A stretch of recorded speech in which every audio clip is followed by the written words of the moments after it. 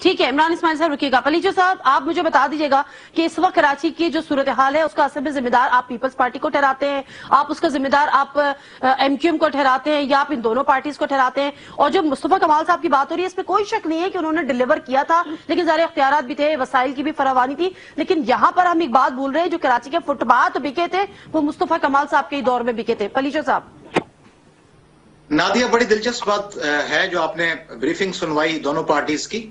اتفاق سے دونوں سچ بول رہے ہیں مگر ایک دوسرے کے بارے میں۔ ایکسپوز کر رہے ہیں بالکل صحیح کہہ رہی ہے بالکل پیپلز پارٹی صحیح کہہ رہی ہے کہ ایم کیو ایم نے ہزاروں گوشت ملازم رکھے ہیں جو کام نہیں کرتے اور بالکل ایم کیو ایم کے دوست صحیح کہہ رہے ہیں کہ پیپلز پارٹی نو سو ارب روپے باہر بھیج رہی ہے اور کوئی کام نہیں ہو رہا۔ دیکھیں صرف آپ نے کہا کہ دو پارٹیز دو پارٹیز نہیں ہیں۔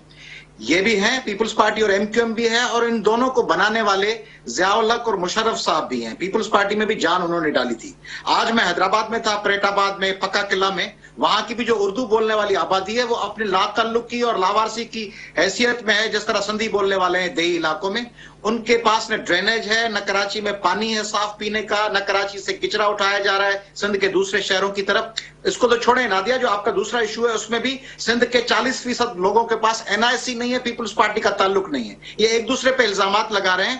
کراچی کے حوالے سے جو اربوں روپے کی صرف یہ نہیں ہے کہ سندھ کی بجٹ، کراچی میں انٹرنیشنل ادارے اربوں روپے کی انویسٹ کرنے کے لیے